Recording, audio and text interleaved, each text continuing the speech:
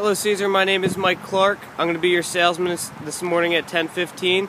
I just wanted to send you a quick video of your 2006 Ford Explorer XLT.